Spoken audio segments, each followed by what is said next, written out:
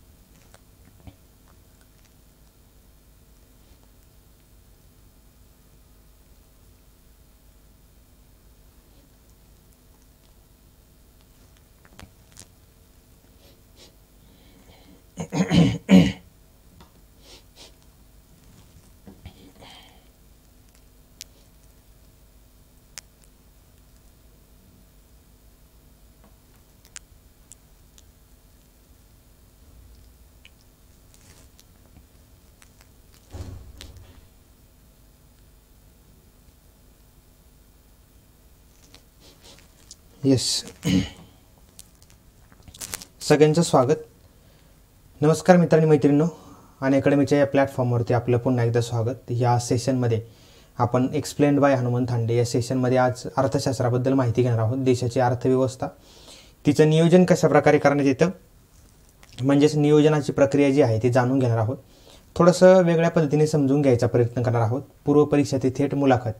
आपला हा भागच आहे जो मुलाखतीपर्यंतची तयारी आपल्याला घेऊन करत आहे. या प्लॅटफॉर्मवरती नुकतंच टॉपर्स संवादच्या भागामध्ये आपण जयश्री नाईक यांच्याबाबतचा जो काही मी मुलाखत घेतलेली आहे तो मुलाखतीचा भाग आहे तो प्रकाशित झालेला आहे. तर ते मुलाखतीचा भाग नक्की पहा सगळ्यांनी आणि निश्चितपणे आपल्या प्रतिक्रिया कळवा. महाराष्ट्रातील तमाम महिला वर्ग असेल किंवा मुलींसाठी ही मुलाखत अत्यंत प्रेरणादायी आहे. आणि निश्चितपणे तुम्हाला या मुलाखतीच्या माध्यमातून अनेकविध प्रकारच्या प्रश्नांची उत्तरं जी आहेत ती मिळून जातील. मग निश्चित हा भाग जो आहे माझं असं म्हणणं आहे की मुलाखत तुम्ही तर पाहाच. परंतु महाराष्ट्रातील सर्व विद्यार्थी मित्र मैत्रिणींपर्यंत प्रामुख्याने मुलींपर्यंत ही मुलाखत जी आहे ती पोहोचवण्याचा प्रयत्न करा. जेणेकरून त्यांना सुद्धा या मुलाखतीचा फायदा होईल. आणि ते देखील या संदर्भात फायदा घेऊ शकतील. बरोबर. तर हां येस सागर. तर प्रश्न असा आहे की एक लक्षात घ्या. की मी ज्यावेळी म्हणतो की एखादा मुलाखतीचा भाग प्रसिद्ध मी कधी इंटेन्शनली किंवा फार प्रकर्षाने एखादा भाग प्रसिद्ध करा किंवा एखादा भाग पोचवा असं सांगत नाही शक्यतो. आपल्या व्हिडिओच्या बाबतीत देखील मी फार प्रकर्षाने ॲग्रेसिव्ह प्रमोशन कधी केलेलं नाही. बरोबर जे पण झालं आत्तापर्यंत ते तुमच्यासमोर आहे. परंतु हाच भाग का पोचवायचा आहे आपल्याला तर महाराष्ट्रातील जो काही ग्रामीण भाग ट्रायबल भागामध्ये काम करत असताना महिला आणि विशेषतः मुलींचे प्रश्न जे आहेत ते प्रकर्षाने आलेले दिसतात समोर. मग अशा वेळी हे प्रश्न कसे सोडवले जाऊ शकतात? या प्रश्नांना काउंटर कसं करायचं? आणि या प्रश्नांच्या माध्यमातून स्पर्धा परीक्षेमध्ये उत्तरं कशी शोधायची? या सगळ्या गोष्टींचा आढावा जो आहे तो एकाच वेळी मुलाखतीमध्ये तीस मिनिटांच्या मुलाखतीमध्ये घेतलेला दिसून आपल्याला. मग त्यामुळे निश्चितपणे महाराष्ट्रातील महिला वर्गासाठी याचा फायदा होईल. आणि त्याबाबत तुम्ही नक्की निश्चितपणे हा भाग जो आहे तो सर्च करा टॉपर संवादमध्ये. आणि टॉपर संवादच्या माध्यमातून हा व्हिडिओ जो आहे तो सर्वांपर्यंत शेअर करा जास्तीत जास्त. त्याचं कारण असं आहे की ज्यावेळी महाराष्ट्रातील महिला मुलींपर्यंत हा व्हिडिओ पोहोचेल त्यावेळेस मनामध्ये असलेला जो काही न्यूनगंड आहे तो न्यूनगंड सर्वप्रथम दूर होईल. आणि एकदा तो दूर झाला की अभ्यासाची जबाबदारी जी आहे ती तुम्ही आमच्यावरती सोडा. वैयक्तिक माझ्यावर सोडली तरी चालेल. त्यामुळे तुमचे प्रश्न जे आहे त्या प्रश्नांची जबाबदारी माझी. परंतु अभ्यासाची जबाबदारी जी आहे ती सर्वतः तुमची असलेली आपली दिसून येईल. त्यामध्ये मार्गदर्शन करण्याचा भाग सुद्धा माझा आहे. आपली ही नवीन बॅच सुरू होती त्याच्याबद्दल थोडीशी माहिती. ही G S most portable probable topics for M P S C twenty twenty राज्यसेवा twenty twenty यासाठी हा भाग जो आहे तो आपण तयार केलेला आहे. ज्यामध्ये प्रामुख्याने geography history economics polity environment सारखे भाग जे आहेत ते कव्हर झालेले आहेत. सायन्ससाठी आणि सीसॅटसाठी सुद्धा वेगळी बॅच असलेली आपली दिसून येते पेपर दोनसाठी. मग निश्चितपणे याच्यामध्ये सर्व महत्त्वाचे भाग कवर होतील. ॲनालिसिस पी वाय क्यूचं ॲनालिसिस देखील होईल. त्यानंतर लास्ट मिनिट रिव्हिजनसुद्धा तुम्हाला उपयोगी पडेल. आणि निश्चितपणे पी वाय क्यूसह इथे क्वेश्चन आणि सोल्युशन जे आहे ते देखील तुम्हाला पाहायला मिळेल. पुढचा भाग म्हणजे काय? ही बॅच आहे सोमवारपासून शनिवारपर्यंत. रोज सात फेब्रुवारीपासून ते थेट एकतीस मार्चपर्यंत असेल. म्हणजे तुमच्या परीक्षेच्या प्रिपरेशनमध्ये याचा मोठ्या प्रमाणात फायदा होईल. या बॅचमध्ये महाराष्ट्रातील सर्व जे टॉपचे एज्युकेटर्स आहेत ते तुम्हाला शिकवतील आणि निश्चितपणे तुम्हाला याचा फायदा होईल. या एज्युकेटर्सच्या माध्यमातून तुम्ही निश्चितपणे अनअकॅडमीचा चेहरा आत्ता महाराष्ट्रभर आपण पोहोचलेला दिसून येतो आपल्याला.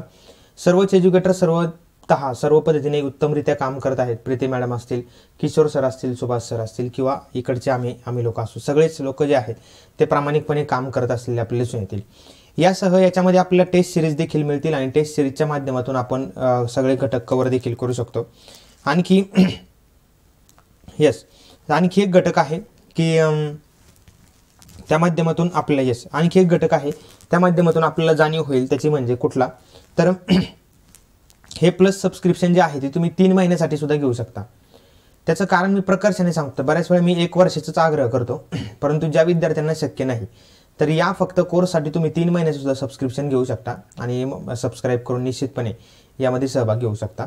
आपल्या आजच्या थेट टॉपिककडे वळूया. प्लॅनिंग इन इंडिया या टॉपिककडे हा जो टॉपिक आहे या टॉपिकच्या माध्यमातून आपल्याला भारतातील अर्थव्यवस्थेचं नियोजन जे आहे ते समजून घ्यायचं आहे. खरं तर मला एक गोष्टीचं उत्तर द्या. भारतातील अर्थव्यवस्थेचं नियोजन करण्याची गरज काय पडली? सरकारला स्वस्थ बसून आपलं काम शांतता आणि सुव्यवस्था एवढ्यापर्यंत मर्यादित ठेवता येत नव्हतं का? विनाकारांची गरज होती का ही? भारताच्या अर्थव्यवस्थेचं नियोजन करावं असं सरकारला का वाटतंय? एकीकडे अमेरिकेची अर्थव्यवस्था एकीकडे रशियाची अर्थव्यवस्था. या अर्थव्यवस्थेमध्ये आपण रशियाकडे झुकणारा जो काही भाग आहे म्हणजे समाजवादाकडे झुकणारे जे काही आर्थिक नियोजन आहे तेच का स्वीकारलं असावं? मुलाखतीमध्ये जर या विषयीचा प्रश्न विचारला साधारणपणे कोणालाही विचारला जाऊ शकतो असं नाही की फक्त इकॉनॉमिक्सच्या विद्यार्थ्यांनाच. भारताने नियोजनाचा स्वीकार का केला? कारण नीती आयोग बरखास्त झाला दोन हजार पंधराला. मग भारताने नियोगा नियोजनाचा स्वीकार का करावा? अशी काही गरज पडली होती. तर मुळात सरकारी हस्तक्षेप हा पूर्णतः असावा का पूर्णतः नसावा किंवा काही अंश असावा आणि काही अंश नसावा याच्यामध्ये त्याचे उत्तर सापडतात. मग अशा वेळी आपली ही संकल्पना समजून येते की प्लॅनिंग इन इंडिया म्हणजेच भारतातील जे काही प्लॅनिंग आहे नियोजन ज्याला आपण म्हणतो त्या नियोजनाचा आपल्याला साधारणतः संकल्पना ज्या आहेत त्या माहिती पाहिजेत. मग ते आपल्याला आता लेक्चरमध्ये पाहताना आपण पूर्व परीक्षेसंदर्भात एक्झॅक्टली सागर एक्झॅक्टली आता आपण पूर्व इथं प्ले प्लसमध्ये कोर्समध्ये माहिती घेत असताना याच्याबद्दल फार डिटेल माहिती घेतली होती. परंतु इथे थोडंसं इनफॉर्मल पद्धतीने जाऊया. इंटरव्ह्यूला क्रॅक कसं करता येईल म्हणजे इंटरव्ह्यूच्या पद्धतीने किंवा आपल्या त्या पोझिशनमध्ये कसं जाता येईल? आपल्या विचारांची प्रक्रिया जी आहे ती विस्तारता कशी येईल? ब्रिटिशांची प्रचंड अन्यायग्रस्त पार्श्वभूमी होती भारताला. आणि ब्रिटिशांनी भारताला जे जोडजोड जोडलेलं होतं लूट लूट लुटलेलं होतं अशा वेळी सगळं काही भारतातून बाहेर फेकले गेले. भारतामध्ये असं समजा की गरिबीचा चौथा राहिलाय फक्त. भारतामध्ये असं समजा की गरीब फक्त आणि गरीबच राहिले आहे अगदी मुठभर जसं आपण आता सागरने रिप्लाय जसं अगदी मुठभर लोक जे आहेत ते मुठभर लोकांकडे सगळी संपत्ती एकवटलेली आहे. मग आता जर समजा स्वातंत्र्यानंतर सुद्धा इंग्रजांचीच नीती चालू ठेवली स्वातंत्र्यानंतर सुद्धा आपण प्लॅनिंग न करता सगळं बाजारावरती सोडून दिले की तुम्ही तुमचं नियोजन करा. बरोबर का नाही? आणि तुम्ही तुमच्या माध्यमातून प्लॅनिंग करा. तर मुठभर लोकांकडे असलेली संपत्ती ते मुठभर लोकांचंच अर्थव्यवस्थेवरती वर्चस्व राहील. मग अर्थव्यवस्थेवरती त्यांचं वर्चस्व राहील मग या कोट्यावधी गरीब लोकांचं काय करायचं? म्हणून भारताच्या अर्थव्यवस्थेमध्ये नियोजनाला अनन्यसाधारण महत्त्व प्राप्त झालं. हे लक्षात घ्या. मग आता हे अनन्यसाधारण महत्त्व प्राप्त झालं याची पार्श्वभूमी जशी आपण पाहिली त्यातलं पहिलं गोष्ट म्हणजे काय? आर्थिक नियोजन म्हणजे काय? हे पहिले समजून घेणं गरजेचं आहे. आता ह्या आर्थिक नियोजनाचा पुढचा टॉपिक म्हणजे काय? तर आर्थिक नियोजन म्हणजेच देशाच्या अर्थव्यवस्थेचं नियोजन आहे. साधारणतः एम पी ए सीचा अभ्यास करतो आपण. सगळे करतो ना M P S C S सीचा अभ्यास करतो आपण. एखादा टॉपिक एक्सप्लेन करायचं म्हणजे नक्की काय करायचं हे आपण समजून घेण्याचा प्रयत्न करूया. एम पी ए सीचा अभ्यास करतो कशासाठी करतो? तर फॉर दी पोस्ट करतो. म्हणजे काय? तर पोस्ट मिळवण्यासाठी करतो. आता इथून तुम्हाला जर इथपर्यंत जायचं असेल तर काहीतरी स्ट्रॅटर्जी आखावी लागते. बरोबर का? स्ट्रॅटर्जी असते किंवा काही त्याला आपण सोप्या भाषेमध्ये प्लॅन म्हणतो. आता हा प्लॅन का करतो आपण? कारण आपल्याला विशिष्ट ध्येय जे आहे ते गाठता यावं. Without plan we will go nowhere हे लक्षात घ्या. आणि लाईक दिस ओनली हे तुम्ही इंटरव्ह्यू पॅनल समोर सुद्धा अशाच पद्धतीने एक्सप्लेन करू शकता. मग विदाऊट प्लॅन आपण इथपर्यंत जाऊच शकत नाही. कशा पद्धतीने? काय काय काही प्लॅन नाही स्ट्रॅटर्जी नाही रणनीती नाही काहीच नाही. तर इथपर्यंत जाता येणं अवघड आहे. किंवा महाभयंकर कठीण आहे. मग देशाच्या सुद्धा अर्थव्यवस्थेचं नियोजन करावं लागतं आपल्याला. कशासाठी? पुन्हा तेच आलं जो चौथा राहिलेला आहे संपूर्ण गरिबीचा त्याचं इरॅडिकेशन करायचे. त्याला काढून टाकायचे आपल्याला. मग त्याला काढून टाकायचं असेल तर आपल्या अर्थव्यवस्थेचं नियोजन करणं आवश्यक आहे. मग देशाच्या आर्थिक व्यवहार सुरळीतपणे चालले पाहिजेत. बरं काय गरज आहे? देशाचे आर्थिक व्यवहार सुरळीतपणे चालवण्याची गरज काय? सगळ्यांचं स्वागत. देशाचे आर्थिक व्यवहार सुरळीतपणे चालण्याची गरज नाही. हो दे अराजकता माजू दे. मग काय फरक पडतो ना? हा अराजकता. बरं चला अराजकता हा शब्द काढून टाका. ज्याला जसं वाटेल तसं नियोजन करू दे अर्थव्यवस्थेचं. त्याच्याने काय फरक पडतो? म्हणजे असं काय फरक पडणार आहे की जेणेकरून देशाचे आर्थिक व्यवहार सुरळीतपणे चालले पाहिजेत. तर एक लक्षात घ्या. कायमस्वरूपी एक गोष्ट लक्षात घ्या. नियमांचा किंवा अराजकतेचा कठोर नियमांचा किंवा अराजकतेचा जो काही सर्वाधिक फटका आहे तो समाजातील डिप्रायव्ड सेक्शन ऑफ दी सोसायटीला बसतो. समाजातील सर्व हारा वर्ग जो आहे त्या सर्व हारा वर्गाला याचा फटका बसतो. कशाचा? या आर्थिक विस्कळीतपणाचा. कारण जो श्रीमंत आहे त्याला देशाची अर्थव्यवस्था विस्कळीत आहे किंवा या संदर्भात सुस्थितीत आहे याच्याने काही फरक पडत नाही. फरक कुठे पडतो? इथे पडतो या गरिबांना. म्हणून देशाचे आर्थिक व्यवहार सुरळीत चालावेत म्हणून देशाच्या अर्थव्यवस्थेचं नियोजन करायचे. आता हे नियोजन कसं करायचे? कशासाठी करायचे? तर विशिष्ट उद्दिष्ट गाठायचे. बरोबर का? विकासाची प्रक्रिया आपण प्लसमध्ये समजून घेतली. आता इथं प्लसचे बरेच विद्यार्थी आहेत. बरं. विकासाची प्रक्रिया आपण समजून घेतली त्या विकासाच्या प्रक्रियेचं अंतिम ध्येय काय आहे? म्हणजे विकास का साध्य करायचा? लॉजिकल प्रश्न आहे. परीक्षेला मुलाखतीला प्रश्न विचारला जाऊ शकतो. विकास का साध्य करायचा? विकास साध विकासाचं अंतिम ध्येय काय माहिती का? मानवी जीवनाचं कल्याण. बरोबर. मानवी जीवन. कल्याण म्हणा किंवा सुकर करणे म्हणा. मग विशिष्ट उद्दिष्ट गाठावं म्हणून आपल्या अर्थव्यवस्थेचं नियोजन करावं लागतं. असं कधी ऐकले का? श्रीमंतांचा फार विकास व्हावा म्हणून देशाच्या अर्थव्यवस्थेचं नियोजन करता यायला पाहिजे. श्रीमंत अधिक श्रीमंत होत जावे आणि त्या देशाच्या अर्थव्यवस्थेचा विकास होईल. असं कधी विचार करतो का आपण? नाही करत आपण. मग श्रीमंत अधिक श्रीमंत होण्यासाठी आपण देशाच्या अर्थव्यवस्थेचं नियोजन नाही करत. तर गरीब त्या गरिबीमधून बाहेर पडून श्रीमंत नाही झाला तरी चालेल परंतु जीवनाच्या मूलभूत गरजा पूर्ण करून जीवनावश्यक वस्तू जीवनावश्यक घटक त्याला मिळाले पाहिजेत आणि मानवी जीवन म्हणजे त्या व्यक्तीचं जीवन कल्याण जे आहे ते साधता येईल यासाठी अर्थव्यवस्थेचं नियोजन आपल्याला करावं लागतं. ही साधारणतः संकल्पना. बरोबर का? हा येस एक्झॅक्टली मग आता एक सागरने आपल्या म्हणजे मित्राने काय रिप्लाय केला? हे आपल्याला रिप्लाय केला की समानता हा शब्द आहे. ही समानता हा शब्द आहे ना हा फार कळीचा मुद्दा आहे. फार कळीचा. तेव्हा कसं काय कळीचा मुद्दा आहे? देशाच्या अर्थव्यवस्थेचं नियोजन आणि समानतेचा काय संबंध आहे?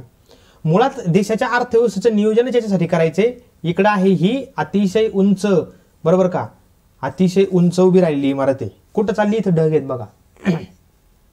या ढगामध्ये चाललेली इमारत आहे. आणि दुसरीकडे माहिती का? इकडे असे ना झोपड्या आहेत बारीक बारीक. बरोबर? ह्या बारीक बारीक झोपड्या आहेत. या कुठं चालल्यात? पातळात चालल्यात. मग ही जी ही जी गॅप आहे ना ही गॅप ही गॅप भरून काढणे म्हणजे समानता प्रस्थापित करण्यासाठी देशाच्या अर्थव्यवस्थेचं नियोजन करावं लागतं आपल्याला. अन्यथा देशाची अर्थव्यवस्था बुडून जाईल.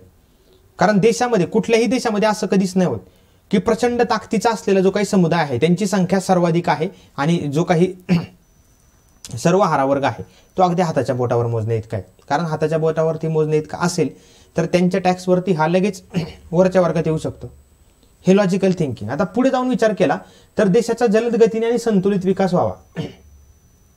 बघा देशाचा जलद गतीने आणि संतुलित विकास झाला पाहिजे. आता देशाच्या जलद गतीने आणि संतुलित विकास म्हणजे काय हे समजून घेऊया आपण. इथे एक घटक आहे.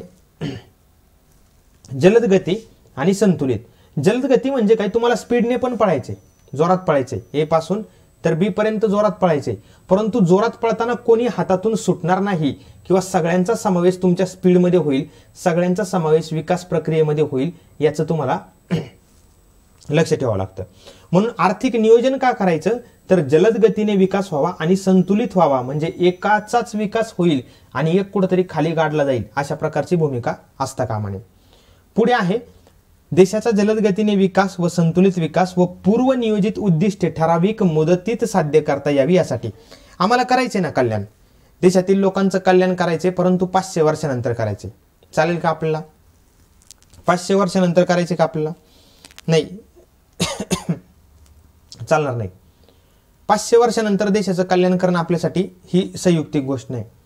म्हणजे काय? आपला प्लॅन जो केलाय ना आपण मला पोस्ट काढायची एम पी सीची परंतु माझा पंधरा वर्षांचा प्लॅन केलेला आहे मला बरोबर पहिले पाच वर्ष ह्या विषयांचा दुसरे पाच वर्ष ह्या तिसरे पाच वर्ष ह्या असं नाहीये. पूर्वनियोजित उद्दिष्ट आहेत आपली कुठली ही आहेत सगळी संतुलित विकासाची. परंतु ही ठराविक मुदतीत साध्य करता यावी यासाठी प्रयत्न केले जातात आर्थिक नियोजनामध्ये. मग पुढे घटक काय? आर्थिक नियोजन हे साध्य आहे का साधन आहे? म्हणजे मला काय करायचे जगातील सर्वोत्तम प्लॅन तयार करायचे हीच माझ्या आयुष्याची स्ट्रॅटजी आहे. असं होतं का? अर्थव्यवस्थेमध्ये नाही. किंवा एम पी सी करताना असं तुम्ही म्हणता कधी की मला माझ्या आयुष्याचा सर्वोत्तम प्लॅन तयार करायचा. बस बाकी काहीच नाही करायचं. सर्वोत्तम प्लॅन झाला रिझल्ट येऊ नये. नाही. ही गोष्ट लक्षात घ्या. व्हिडिओ स्टॉप झाला असेल तर रिफ्रेश करा. त्यांना मेसेज करा सगळ्यांनी रिफ्रेश करा म्हणून. आता आर्थिक नियोजन जे आहे ते आर्थिक नियोजन करायचं म्हणजे नक्की काय करायचे? समजा सोप्या भाषेमध्ये आपण इथं समजून घेऊया. तुम्हाला फार सोप्या भाषेमध्ये समजून घे घेता येईल. बघा. काय आहे? काय आहे? समजा इथे तुमचा अभ्यास सुरू होते. बरोबर. ह्या पॉईंटवरती तुमचा अभ्यास सुरू होते. आणि ह्या पॉईंटवरती तुमचा अभ्यास सुरू होताना इथे तुमची पोस्ट आहे. बरोबर. इथे तुमची पोस्ट आहे. आणि हा तुमचा मधला प्लॅन आहे. बरोबर. आता याला म्हणूया आपण ए याला म्हणूया आपण बी आणि याला म्हणूया आपण सी बरोबर का? आता बी मला सांगा फक्त आर हे बी जे आहे ना हा प्लॅन आहे. हे बी तुमच्या आयुष्याचं उद्दिष्ट आहे का सी तुमच्या आयुष्याचं उद्दिष्ट आहे? आता मी काही कमेंट बॉक्समध्ये बघत नाही परंतु आय होप की तुम्हाला लक्षात येईल की तुमचं सी जे आहे ते तुमच्या आयुष्याचं उद्दिष्ट आहे. मग हे जे एक लक्षात घ्या आर्थिक नियोजन जे आहे ते साध्य नाहीये हे साध्य आहे तुमचं. बरोबर हे साध्य हे आयुष्याचं साध्य आहे. आणि हे काय आहे? आर्थिक नियोजन या संदर्भात प्लॅनिंग आहे. नियोजन. हे तुमचं नियोजन प्लॅनिंग आहे. मग इथं तुमच्या आयुष्याचं इथं लिहिलेलं जरा दिसत नसेल. हे तुमच्या आयुष्याचं साध्य आहे. मग एक कायम लक्षात ठेवा. आर्थिक नियोजन जे आहे ना हे नियोजन तुमचं साध्य नाही तर साधन आहे. म्हणजे नियोजन काय आहे? साधन आहे. म्हणजे कशाचं साधन आहे? तर तुमचं हे साध्य करण्यासाठीचं हे साधन आहे. हे लक्षात घ्या.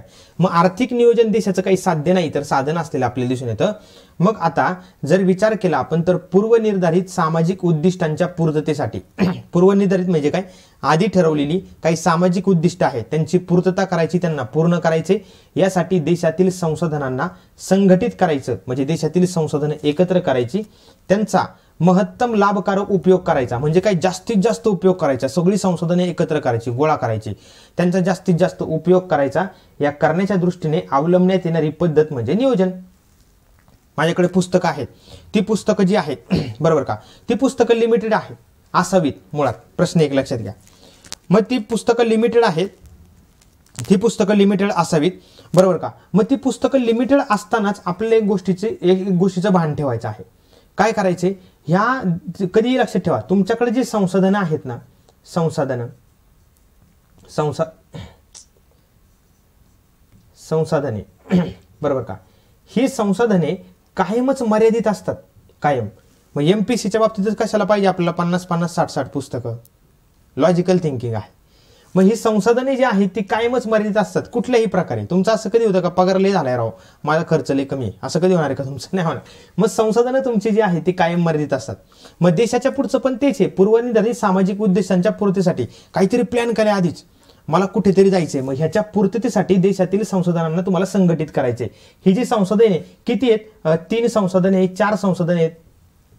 तीन चार ठिकाणी खनिज स्रोत आहेत किंवा तीन चार नद्या आहेत किंवा हे सगळं आहे. मग ह्या तीन चार संशोधनांना एकत्रित करायचं संघटित करायचं. आणि काय करायचं? त्यांच्यामधून महत्तम लाभकारक उपयोग करायचा हेच पुस्तकांच्या बाबतीत करावं लागतं आपल्याला. पुस्तकं लिमिटेड रिसोर्स करायचे आणि त्याच्यातून मॅक्सिमम आउटपुट काढण्याचा प्रयत्न करायचा याला म्हणायचं महत्तम सामाजिक सॉरी महत्तम लाभकारक उपयोग करण्याच्या दृष्टीने जी काही पद्धत तुम्ही आखता जो काही प्लॅन तुम्ही करता त्याला आपण नियोजन म्हणतो. असं नियोजन आयोगाची व्याख्या आहे. प्लॅनिंग कमिशनची क्लिअर इथपर्यंतचा भाग. हे लक्षात घ्या.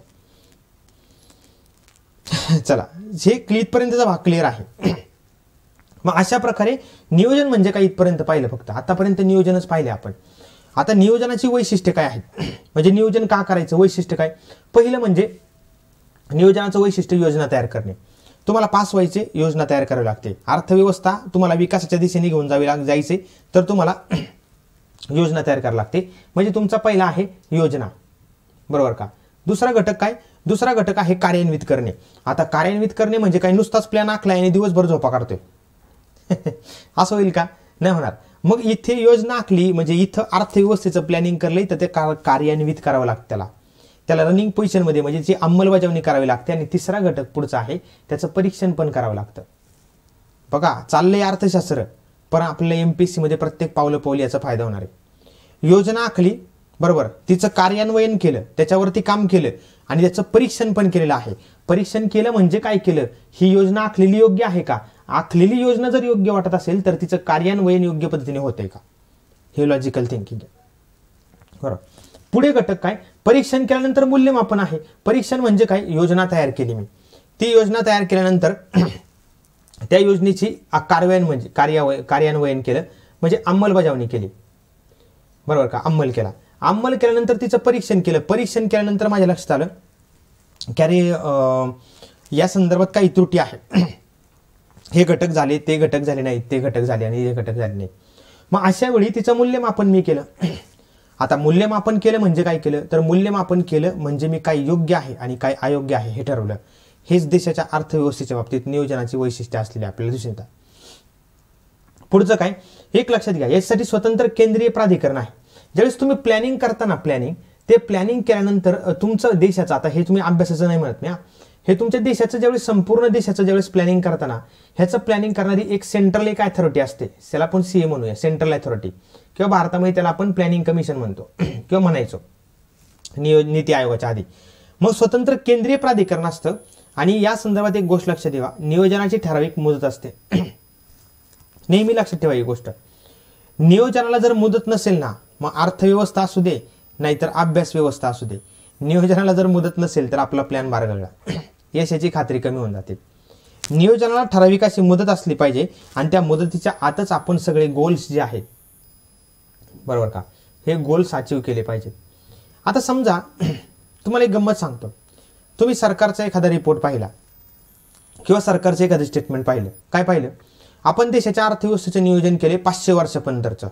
इथून पुढच्या पाचशे वर्षात देशाला जगातली सर्वात मोठी सुपर पॉवर म्हणजे. तुम्ही हसणार का? शंभर टक्के हसणार. मग हेच ज्यावेळेस तुम्ही एम पी एस सीत करताना त्यावेळेस आपण हसत नाही. हे लक्षात ठेवायचं. मग हे तुमचे गोल सेट करा. नियोजनाची ठराविक मुद्रा असते. जसं अर्थव्यवस्थेमध्ये नियोजनाची ठराविक मुद्रा आहे तसंच तुमच्या अभ्यासामध्ये पण असली पाहिजे. पुढचं आहे पूर्वनिर्धारित उद्दिष्ट असतात. म्हणजे आधी ठरवा काय करायचे. बरोबर. हे देशामध्ये विहिरी नाही आहेत चला आता विहिरींसाठी नियोजन करू. देशामध्ये शेती नाही चला शेतीसाठी नियोजन करू. अरे इकडं तर वसाड भाग पडलाय. इकडं उद्योग नाही आहेत इकडं उद्योग उभारे करू. असं नसते नियोजनामध्ये पूर्वनिर्धारित उद्दिष्टे असतात म्हणजे आधी ठरवावं लागतं तुम्हाला की देशाला गरज कशाची आहे आणि देशामध्ये कुठले उद्योग कुठली शेती कुठल्या विहिरी उभ्या राहिल्या पाहिजेत. हेच आपल्या वैयक्तिक आयुष्यात देखील प्रत्येक ठिकाणी लागू करायचा प्रयत्न करा. पूर्वनिर्धारित उद्दिष्ट असू द्या. आणि ते जर नसेल ना तर आपल्याला या संदर्भात इथे आपण गटांगळ्या खाण्याची शक्यता आहे. ऐनवेळी केलेला प्लॅन जो आहे तो प्लॅन नसण्याबरोबरचाच आहे.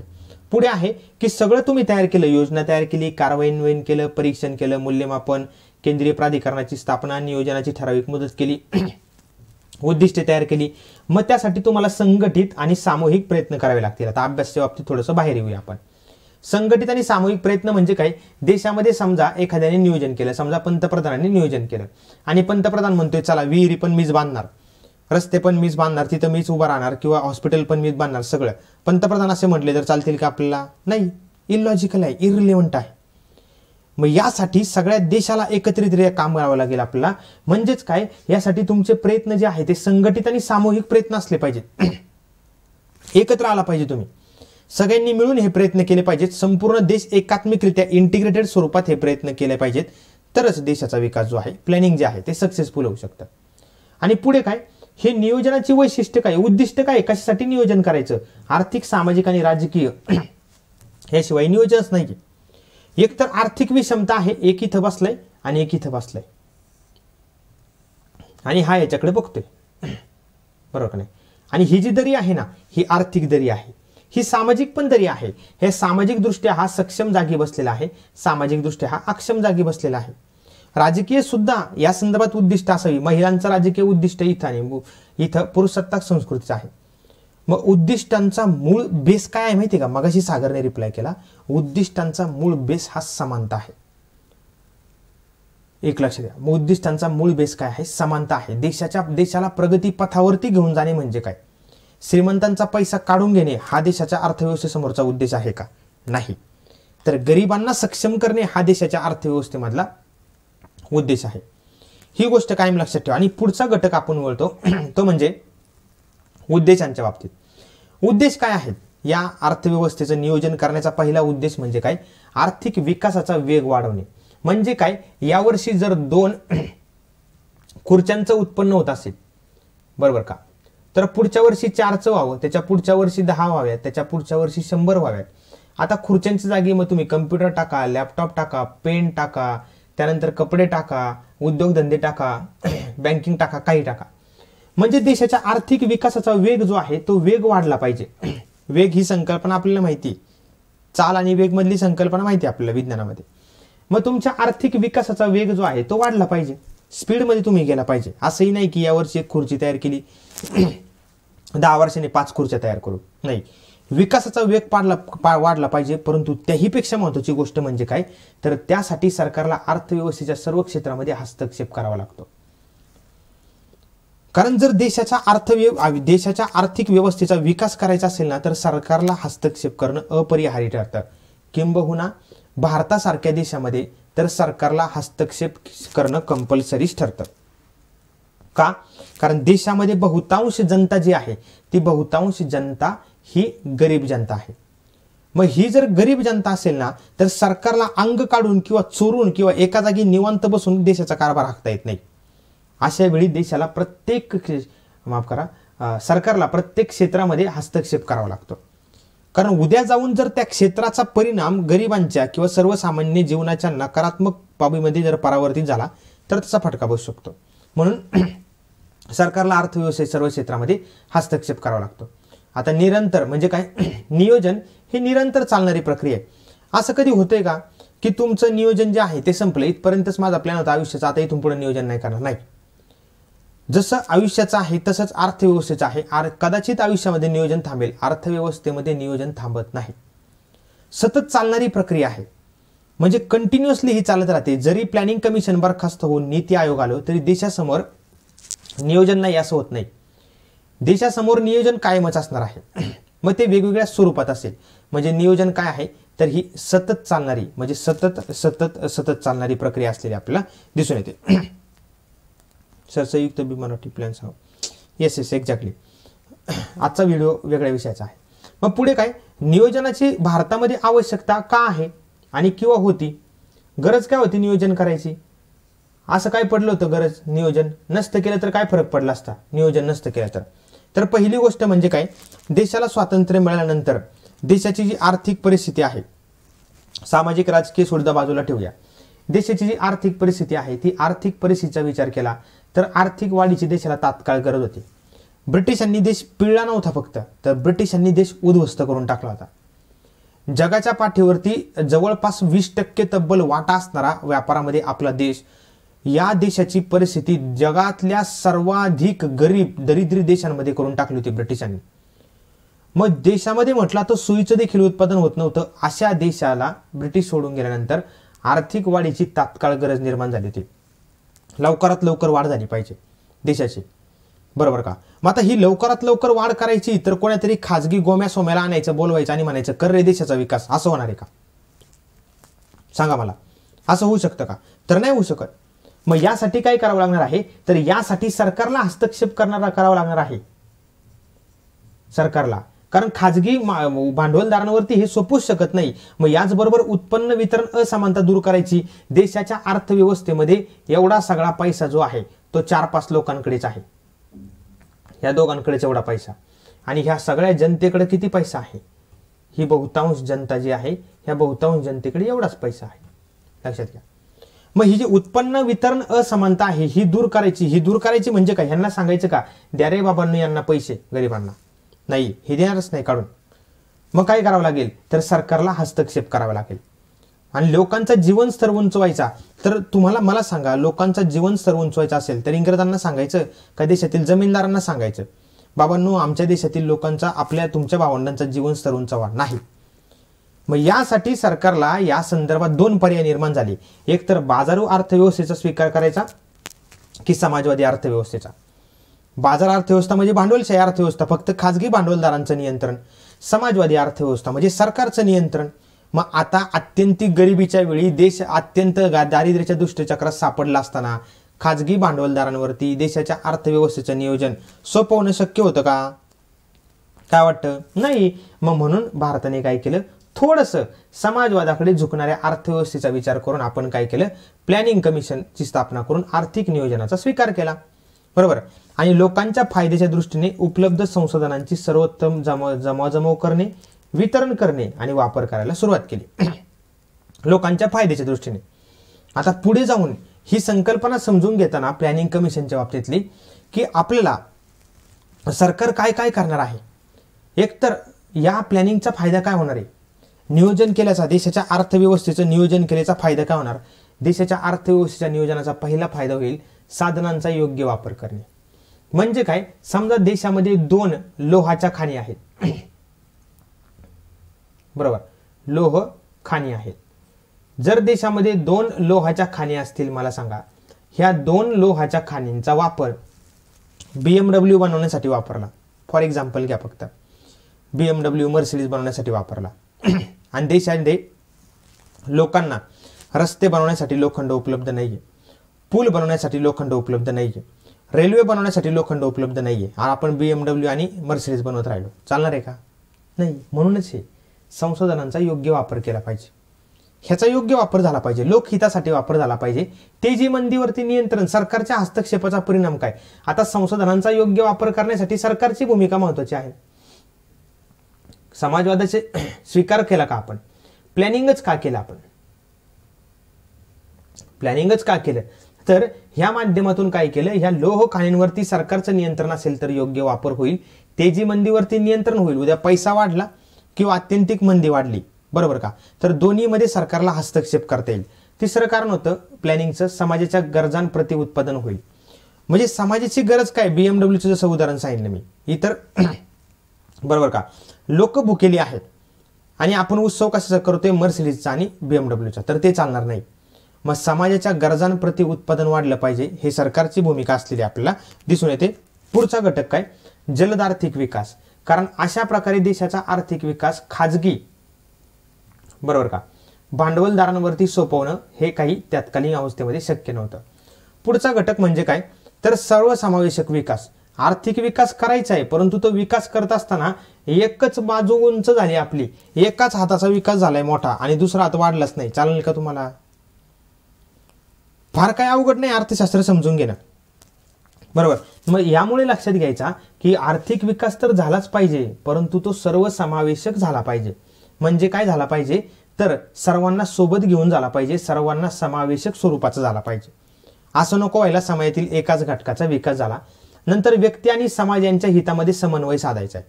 म्हणजे बघा समाजवादी नियोजन केलं प्लॅनिंग केलं देशाच्या अर्थव्यवस्थेवरती सरकारचं नियोजन नियंत्रण आलं खाजगी भांडवलाला काही वावच मिळालं नाही का? नाही असं नाही व्यक्तीचं पण कल्याण व्हावं आणि त्या कल्याणामध्ये समाजाचं कल्याण सुद्धा सामावलेलं असावं. म्हणजे दोघांचंही व्यक्ती समाज यांच्या हितामध्ये समन्वय साधता आला पाहिजे. कोणाचंही नुकसान होता कामाने आणि त्याच वेळी कोणाचाही प्रचंड एकीकडे फायदा होईल असंही बघता कामाने मग त्यामुळे सरकारने नियोजनाचा स्वीकार केला. पुढची भूमिका होती गळे कापूस स्पर्धेचे उच्चाटन करणे. या भांडवलशाही अर्थव्यवस्थेमध्ये लोकांनी एवढी भयान स्पर्धा निर्माण करून ठेवली होती. या भयान स्पर्धेमध्ये व्हायचं काय? तर गळे कापूस स्पर्धा निर्माण व्हायची आणि याच्यामध्ये छोट्या छोट्या उद्योगांचा ऱ्हास व्हायचा. म्हणून स्पर्धेचं उच्चाटन करण्याचं काम जे आहे ते या प्लॅनिंगच्या आधारावरती करण्यात आलं. वर्ग संघर्ष निर्मूलन आहे. याला काल मार्क्सच्या वर्ग संघर्षाच्या सिद्धांताची जोडी आहे. काल मार्क्स म्हणतो देशातील किंवा जगातील सर्व प्रश्न जे आहेत ते सर्व प्रश्नांचं मूळ अर्थशास्त्र म्हणजे आर्थिक आहे पैशामध्ये आहे. मग अशा वेळी काय होते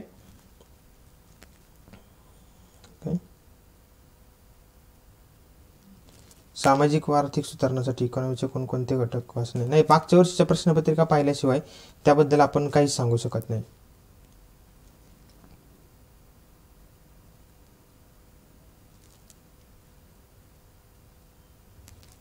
ठीक आहे. ते आपण मला प्रश्नपत्रिका पाठवा मी बा पाहतो. बघा आता गळे कापूस परिचय उच्चाटन वर्ग संघर्ष निर्माण आ- कार्ल म्हणते जगातील सर्व प्रश्नांची मूळच अर्थशास्त्रात आहे किंवा आर्थिक आहे पैशात आहे. मग याच्यामुळे काय होते माहिती आहे का? या पैशामुळे भांडवलदारांचं वर्चस्व तयार होते आणि भांडवलदारांचं वर्चस्व झाल्यामुळे ते कामगारांची पिळवणूक करतात. आणि कामगार कधी ना कधी क्रांती करून उठणार आहे तो काही गप्प बसणार नाही. आणि याला त्यांनी म्हटले मग वर्ग संघर्ष किंवा वर्ग कलहाचा सिद्धांत. मग हे सगळे नष्ट करायचे एकीकडे मालक वर्ग कामगार वर्गाची पिळवणूक करू नये. म्हणून हे वर्ग संघर्षाचं निर्मूलन करण्यासाठी सरकारने भूमिका घेतली की भांडणं नको व्हायला. आम्ही तुमच्यामध्ये येतो. आणि पुढचा घटक आहे रोजगार निर्मितीचा. जर तुम्ही सांगितलं खाजगी भांडवलदारांना नुसतेच रोजगार निर्माण करा तर ते म्हणाल नाही आम्हाला फायदा होत नाही. म्हणजे आम्ही प्रॉफिटचा विचार करतो फक्त. मग रोजगार निर्मिती कोण करणार? यासाठी सरकारची भूमिका महत्वाची आहे. म्हणून प्लॅनिंग केलं म्हणून सरकारचा हस्तक्षेप आहे. आणि नंतर आहे भांडवल निर्मिती. एखादा मोठा लोह पोलाद उद्योग स्थापन करायचा आहे ज्याच्यामध्ये प्रॉफिट कमी आहे. तो पोलाद उद्योग खाजगी कंपनी स्थापन करेल का नाही ते प्रॉफिटचा विचार करेल. म्हणून प्लॅनिंग केलं आपण. आणि हे प्लॅनिंग केल्यानंतर आपला या प्लॅनिंगचा पुढचा भाग जो आहे तो पुढचा भाग समजून येतो. तो म्हणजे नियोजनाचे टप्पे कुठले कुठले आहेत. एखाद्या गोष्टीचं नियोजन करताना आपण काय करतो? बरोबर. त्या एखाद्या गोष्टीचं नियोजन करताना आपण पहिलं करतो संशोधनांचा आढावा घेतो. देशातील संशोधनांचा आढावा घेणे म्हणजे काय? आपल्याला देशाची प्रगती करायची यासाठी आपल्याकडे उपलब्ध काय काय? दोन सोन्याच्या खाणी आहेत दोन लोहाच्या खाणी आहेत देशामध्ये जंगल संपत्ती एवढी आहे देशामध्ये ख वनसंपत्ती एवढी आहे किंवा देशामध्ये प्राणी संपत्ती एवढी आहे देशामध्ये नद्या एवढ्या आहेत देशामध्ये अनेक गोष्टी शेती एवढी आहे उद्योग एवढे आहेत. संशोधनांचा आढावा तर घेतला पाहिजे पहिला प्रक्रिया आहे. देशामध्ये काय आहे हे समजून घ्यावं लागतं. दुसरी गोष्ट जे आहे त्याच्याच आधारावरती उद्दिष्टे निश्चिती करावी लागतात. आपल्याला कुठे जायचंय? बरं आता हे उद्दिष्ट निश्चित केल्यानंतर काय करावं लागतं? हे जे संशोधन आहे हे संशोधनाचं झाले हे संसाधन आहे बरं का हे संसाधने. संसाधनांचे. संसाधनांचे वितरण. म्हणजे काय? उद्दिष्ट निष्ठ केली. मला पाच विहिरी तयार करायच्या शेती एवढी करायची. मग संशोधन संसाधनांचं वितरण. मग वितरण म्हणजे काय? की जे निश्चित केले पाच विहिरींना किती खर्च येतोय? शंभर रुपये खर्च येते बरं का? दोन उद्योग स्थापन करण्याला एक हजार रुपये खर्च येते मग हे संशोधनांचं वितरण झालं. मग आता हे सगळं ठरलं पैशाचं वितरण झालं संशोधनांचं वितरण झालं. चौथा टप्पा आहे अंमलबजावणीचा. प्लॅन जो आहे त्याचा अंमल करायचा म्हणजे काय? तर इम्प्लिमेंटेशन करायचं. आता अंमलबजावणी केल्यानंतर पाचवा टप्पा आहे आढावा घ्यायचा. प्लॅन तुम्ही जो केलेला आहे त्याचा आढावा घेतला पाहिजे ना की तुम्ही काय करता याला मध्यावधी आढावा घेणे म्हणतात. आपण कुठपर्यंत आलोय? ऐनवेळी काही चेंजेस करायचे असतील तर काय करायचं? आणि आढावा घेतल्यानंतर आपण वळतो पुनर्नियोजनाकडे. म्हणजे पुन्हा नियोजन करायचं. की आता ही सगळी प्रोसेस पुन्हा नियोजन करायचं नियोजनाची प्रक्रिया जी आहे ती पुन्हा आणि मग पुन्हा पहिल्यापासून संशोधनाचा हे संसाधन आहे हा. हे बऱ्याच ठिकाणी संशोधन झालेलं आहे. तरी इथे शब्द लिहितो संसाधन.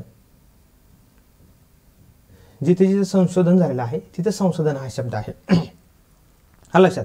तर अशा पद्धतीने तुम्हाला या सगळ्या गोष्टींचं नियोजनाची प्रक्रिया किंवा नियोजनाच्या माध्यमातून हा जो सगळा इतिहास आहे तो समजून घेण्याची जी काही गरज आहे ती असलेली आपल्याला दिसून येते. मग अशा अनेक प्रकारच्या घटकांचा अभ्यास केल्यानंतर आपल्याला दिसून येते की या संदर्भात अर्थव्यवस्थेच्या संकल्पना कशा समजून घ्यायच्या हे एकदा तुम्हाला कळालं की बाकी गोष्टी सोप्या होऊन जातात. आजच्या भागामध्ये थोडासा आपला वेळ जास्त लांबला आज परंतु काही हरकत नाही आहे पण आजच्या भागामध्ये आपण इथे थांबणार आहोत कारण आपल्याकडे वेळ थोडासा कमी आहे. मग तुम्ही अनअकॅडमी प्लसला सबस्क्राईब करू शकता. हा माझा रेफरल कोड आहे. एच ए एन यू बारा. बरोबर. हा रेफरल कोड वापरून तुम्ही सबस्क्राईब करू शकता. तो सबस्क्राईब करताना तुम्हाला हा रेफरल कोड वापरल्यामुळे दहा टक्के डिस्काउंट जो आहे तो डिस्काउंट प्रोव्हाइड होईल. हे सगळं तुम्हाला माहिती आहे. त्यामुळे निश्चितपणे तुम्ही अनअकॅडमीच्या लर्निंग ॲप डाउनलोड करा. त्याच्यामध्ये माझं नाव सर्च करा. त्यानंतर फॉलो करा. तुम्हाला सतराशे म्हणजे सतराशे पन्नासपेक्षा जास्त फ्री व्हिडिओ पाहायला मिळतील. हे लक्षात घ्या. सतराशे पन्नासपेक्षा जास्त फ्री व्हिडिओ आहेत. ते टोटल फ्री आहे त्यासाठी कुठल्याही प्रकारचे चार्जेस नाही. तर हे पहा. मग त्यानंतर ठरवा प्लसमध्ये यायचं आहे की नाही. मग तुम्ही तिकडे प्लसमध्ये गेल्यानंतर गेट सबस्क्रिप्शनवरती क्लिक करा. तिथे साधारणतः प्राथमिक माहिती भरल्यानंतर रेफरल कोड टाका तो अप्लाय करा. आणि नंतर नेक्स्ट नेक्स्ट करत जाऊन पेमेंट केलं. हे वन टाईम पेमेंट जरी केलं तुम्हाला दहा टक्के सूट भेटते. वर्षभर तुम्ही सगळ्या एज्युकेटरचे सगळे व्हिडिओ टेस्ट सिरीजसह सगळं जे आहे ते एकाच वेळी पाहू शकता. त्यामुळे आजच्या भागामध्ये ही प्राथमिक माहिती घेऊन आपण इथेच थांबूया.